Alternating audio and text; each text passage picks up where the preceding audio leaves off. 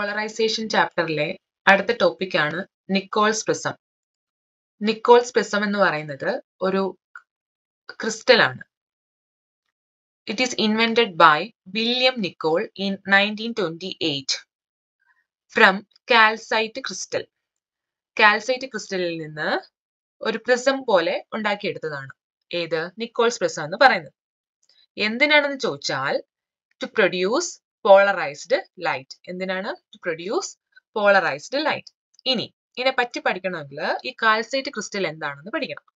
അപ്പോൾ ഈ calcite crystal എന്ന് പറയുന്നത് ഒരു യൂണി ആക്സിൽ ആണ്. യൂണി ആക്സിൽ എന്ന് പറഞ്ഞാൽ ഒരു ആക്സിസ് ഒരു പർട്ടിക്കുലർ ആക്സിസ് ആയിരിക്കും അതിനെ കാണുന്നത്. അതാണ് യൂണി ആക്സിൽ എന്ന് പറയുന്നത്. പിന്നെ എന്താണ്? കളർലെസ് ആണ് ട്രാൻസ്പേരന്റ് ആണ്. പിന്നെ എന്റെ ഷേപ്പ് എന്ന് പറയുന്നത് റോംബോ ഹൈഡ്രേറ്റ് ക്ലാസ്സിൽ വരും. റോംബോ ഹൈഡ്രേറ്റ് ക്ലാസ് എന്ന് പറഞ്ഞാൽ ഒരു സൈഡിൽ ഇവിടെ ഈ താഴത്തെ ഫിഗറിനകത്ത് ഒരു സൈഡിൽ ഒരു സെവന്റി എയ്റ്റ് പോയിന്റ് ഫൈവ് ഡിഗ്രിയും അപ്പുറത്തത് അതായത് അടുത്തത് തൊട്ടടുത്ത ആംഗിൾ എന്ന് പറയുന്നത് ഒരു ഒപ്റ്റ്യൂസ് ആംഗിളും ആയിരിക്കും. അപ്പോൾ ഇങ്ങനെയുള്ളതിനെയാണ് rhombohedral class of hexagonal system എന്ന് പറയുന്നത്.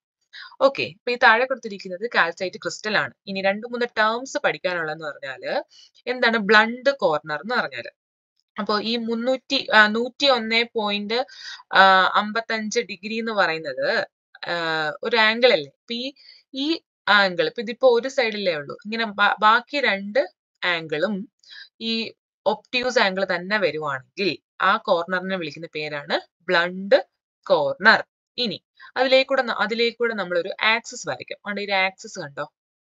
ഈ ആക്സിസ്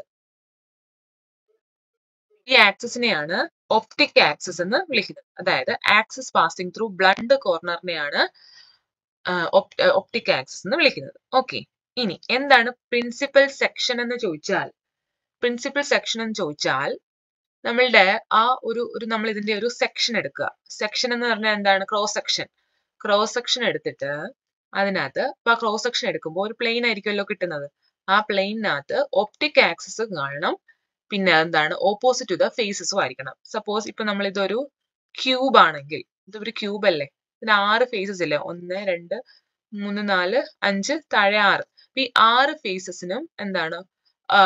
സപ്പോസ് ഇവിടെ രണ്ട് ഫേസസിന് അല്ലേ? ഇപ്പൊ ഒരു ഇങ്ങനെ ഒരു പ്ലെയിൻ ഞാൻ ഇങ്ങനെ വരച്ചാൽ പ്ലെയിൻ എടുത്താൽ ഇത് ഒന്നിന് പെർപെൻ രണ്ട് ഫേസിന് എന്തായിരിക്കും? പെർപെൻഡിക്കുലർ ആയിരിക്കും.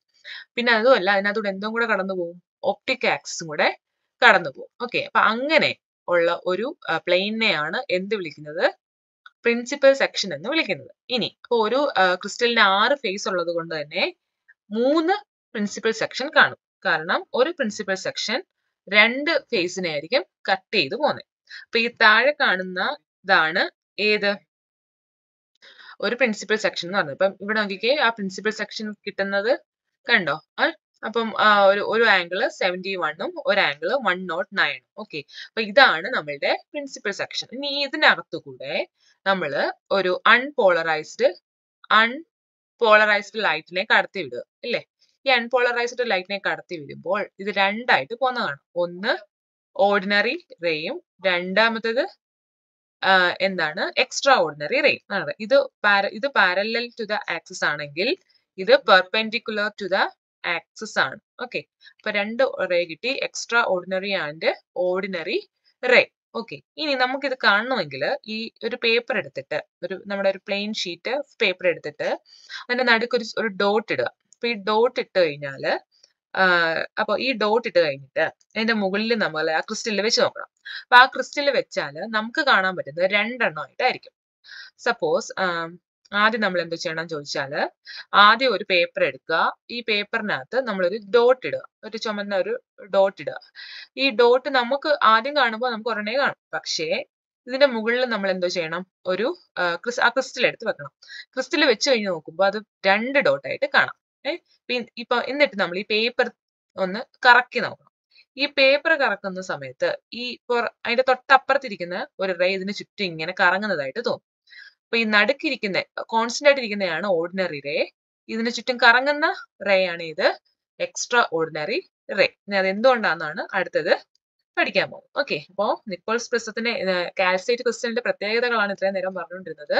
കാൽസൈറ്റ് ക്രിസ്റ്റൽ യൂണി ആക്സിൽ ആണ് കളർലെസ് ആണ് ട്രാൻസ്പെയറന്റ് ആണ്. റോംബോ ഹൈഡ്രൽ ക്ലാസ്സിൽ വരുന്നത് എന്തുകൊണ്ടാന്ന് ചോദിച്ചാൽ ഒരു ആംഗിൾ അക്യൂട്ടും ഒരു ആംഗിൾ ഒപ്റ്റീസും ആണ്. ബ്ലണ്ട് കോർണർ മൂന്ന് ഒപ്റ്റീസ് ആംഗിൾ ചേരുന്നതാണ് ബ്ലണ്ട് കോർണർ ഇനി അതിലേക്കൂടെ പോകുന്ന ആക്സിസ് ആണ് ഒപ്റ്റിക് ആക്സിസ് ഒരു ഒരു ഒരു ക്രിസ്റ്റൽ എടുത്താൽ സാധാരണ എത്ര ഒപ്റ്റിക് ആക്സിസ് വരും? അല്ല ഒരു ആക്സിസേ വരത്തുള്ളൂ. ഇനി അതിനെ നമ്മൾ ഇങ്ങനെ ഒരു പ്ലെയിൻ ആയിട്ട് ഇങ്ങനെ കട്ട് ചെയ്യുകയാണെങ്കിൽ ഈ പ്ലെയിൻ ആണ് നമ്മൾ ഈ കാണിച്ചിരിക്കുന്ന പ്ലെയിൻ ഇപ്പൊ ഇങ്ങനെ ഒരു പ്ലെയിനിലൂടെ കട്ട് ചെയ്യുമ്പോൾ അതിനകത്ത് എന്ത് വരണം? ഒപ്റ്റിക് ആക്സിസും വരണം. ഇത് ഓപ്പോസിറ്റ് ഫേസസിന് പെർപെൻഡിക്കുലർ ആയിട്ട് വരും. വരണം. അപ്പൊ അങ്ങനെ വരുന്നതിനെയാണ് പ്രിൻസിപ്പൽ സെക്ഷൻ എന്ന് വിളിക്കുന്നത്. അപ്പൊ പ്രിൻസിപ്പൽ സെക്ഷൻ എടുത്തിട്ട് വേണം നമ്മൾ എന്ത് ചെയ്യാൻ? അൺപോളറൈസ്ഡ് ലൈറ്റിനെ കടത്തിവിടാൻ. അപ്പൊ അങ്- അങ്ങനെ കടത്തിവിട്ടെങ്കിൽ നമുക്ക് ഈ രണ്ട് റേയെ കാണാൻ പറ്റും. ഓക്കെ ഇതിന് വിളിക്കുന്ന പേരാണ് ഡബിൾ റിഫ്രാക്ഷൻ എന്താണ് ഡബിൾ റിഫ്രാക്ഷൻ ഇനി ഈ ഡബിൾ റിഫ്രാക്ഷൻ പഠിക്കാൻ വേണ്ടി വില്യം നിക്കോൾ ആയിരത്തി തൊള്ളായിരത്തി ഇരുപത്തി എട്ടിൽ കൊണ്ടുവന്ന അല്ലെങ്കിൽ ഉണ്ടാക്കിയെടുത്ത ഒരു പ്രിസമാണ് Nicol's prism from calcite crystal.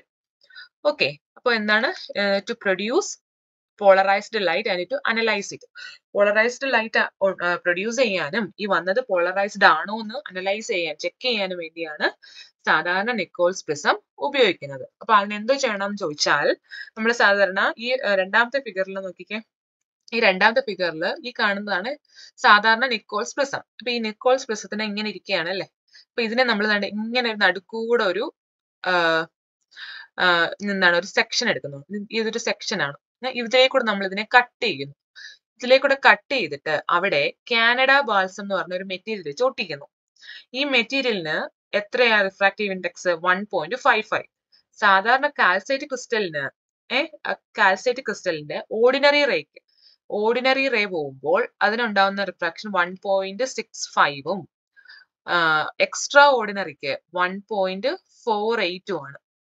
അപ്പോൾ എന്താണെന്ന് ചോദിച്ചാൽ ഏഹ് അപ്പൊ ഇങ്ങനെ വരുന്നത് ഇത് അൺപോളറൈസ്ഡ് ലൈറ്റ് ഇങ്ങോട്ട് കയറി വരുമ്പോൾ ഇപ്പൊ മുന്നേ കാണുന്ന എക്സ്ട്രാ ഓർഡിനറി റേക്ക് എന്താണ്? എക്സ്ട്രാ ഓർഡിനറി റേക്ക് എന്താണ്? റിഫ്രാക്റ്റീവ് ഇൻഡെക്സ് കുറവല്ലേ?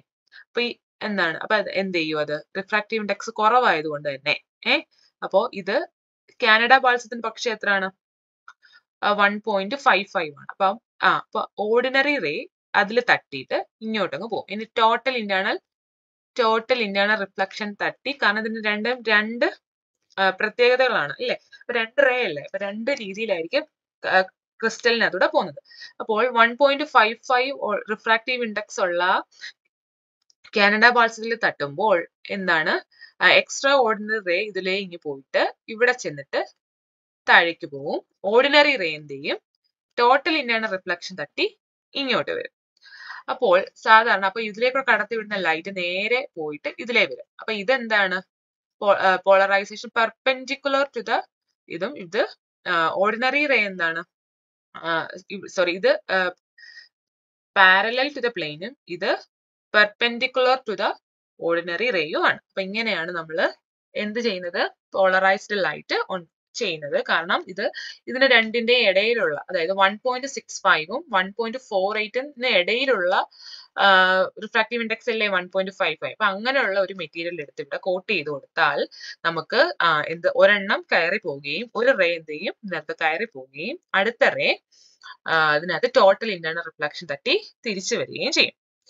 ഓക്കെ ഇനി ഇനി എന്നതൊക്കെ പറയാനുള്ളത് മ്യൂ സീറോ എന്ന് പറയുന്നത് റിഫ്രാക്റ്റീവ് ഇൻഡെക്സ് റിഫ്രാക്റ്റീവ് ഇൻഡെക്സ് നമുക്കറിയാം Snell's law Snell's N is equal to sine I by sine R sine I by sine R ഈ sine I by sine R നമ്മൾ ഇവിടെ എഴുതുമ്പോൾ മ്യൂ സീറോ എന്ന് എഴുതും. അല്ലെ?